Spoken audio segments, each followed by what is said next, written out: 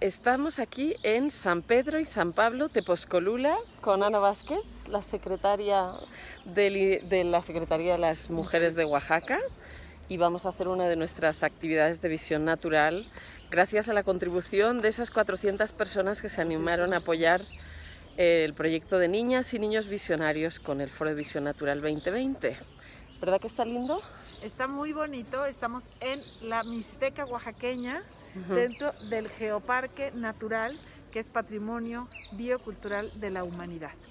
Buenísimo. ¿Y una de las zonas más pobres, decías, de Oaxaca? Sí, lamentablemente aquí cerca hay comunidades en extrema pobreza.